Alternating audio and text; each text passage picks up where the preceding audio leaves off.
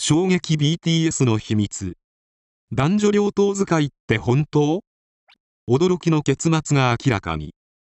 K-POP 界のトップアーティストである BTS 彼らの人気は日増しに高まり多くのファンが彼らの魅力に取りつかれています。しかし今回明らかになったのは彼らが実は両党使いであるという驚きの事実です。BTS のメンバーは男性だけでなく女性の役もこなすことができるというのです。時にはマネージャーも巻き込んで彼らはハチと猫の役に分かれて演じているのだとか。実はこの情報はネット上ではすでに話題になっていたのですが多くの人が自演だと疑っていました。しかしその真相は今回明らかになることとなりました。さらに BTS のファンからはなぜスレッドには何も書き込まれていないのかという声も上がっていました。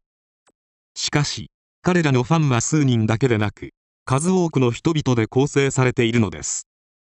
様々な掲示板に分散しているためスレッドに書き込みがないと感じる人もいるのかもしれません。一方 BTS は日本の秋元康が作詞した新曲を中止することになりました。彼らは秋元康は右翼という的な意見を受けてファンのために中止を決断したのです。彼らの行動に多くの人々は感心しているようです。また BTS の株価についても話題になっています。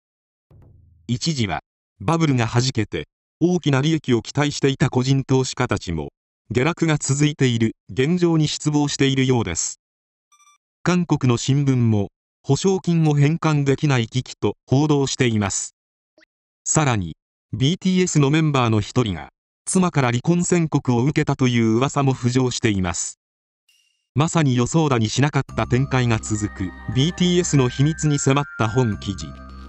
一体彼らの真実はどこにあるのでしょうか？それは読者自身の目で確かめてください。驚きの結末が待っています。動画をご覧いただきありがとうございます。この動画が気に入っていただけましたらぜひあなたのコメントもお待ちしています。チャンネル登録もお願いします。